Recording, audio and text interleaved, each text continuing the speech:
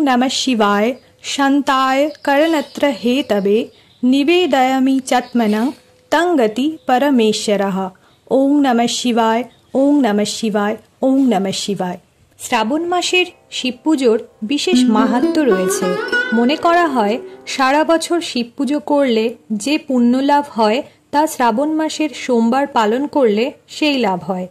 সামনেই আসতে চলেছে শ্রাবণ মাসের শেষ সোমবার।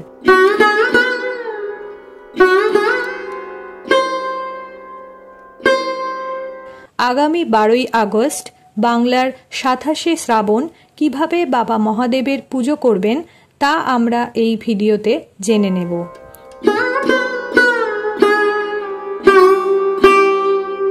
প্রথমে পুজোর আগেই মাথায় এবং পুজোর উপকরণে ভালো করে গঙ্গার জল ছিটিয়ে নেবেন।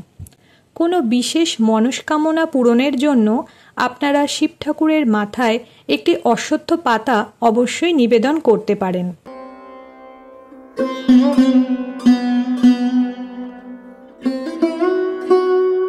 যদি সম্ভব হয়, তাহলে একটি লাল গোলাপ অবশ্যই ভগবানকে নিবেদন করুন, তাতে ভগবান অত্যন্ত সন্তুষ্ট হন।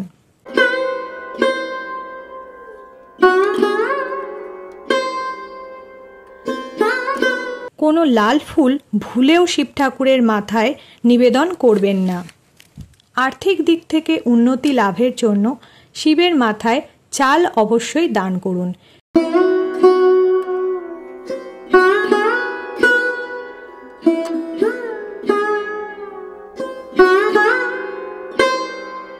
সন্তানের সুস্বাস্থ্য কামনার জন্য শিবলিঙ্গে গম নিবেদন করুন, যা অত্যন্ত শুভ মনে করা হয়। এক্ষেত্রে অখণ্ড গমই নিবেদন করবেন।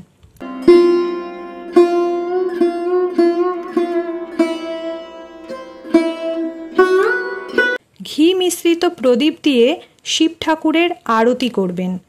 পুজোর সময় ধুনো অবশ্যই জ্বালাবেন। পারলে একটি কর্পূর জ্বালাবেন। ভগবান অনেক বেশি সন্তুষ্ট হন।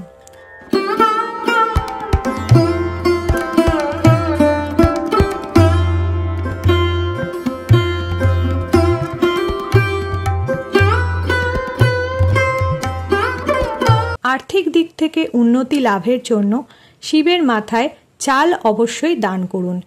এই সমস্ত দিকগুলি অবশ্যই মাথায় রাখবেন, তাহলেই কিন্তু দেবাদিদেব মহাদেবের পুণ্য লাভ করতে পারবেন। আর অবশ্যই সবশেষে শিব ঠাকুরের একটি মন্ত্র অবশ্যই তিনবার বলবেন।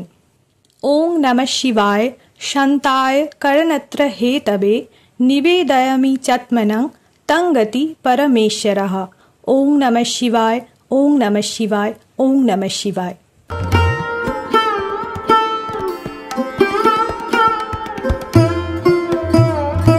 যদি ভিডিওটি ভালো লেগে থাকে, অবশ্যই চ্যানেলটিকে সাবস্ক্রাইব করুন আর লাইক এবং শেয়ার করতে একদমই ভুলবেন না। দেখা হবে পরবর্তী একটি ভিডিওতে। সবাই ভালো থাকবেন, সুস্থ থাকবেন। ধন্যবাদ।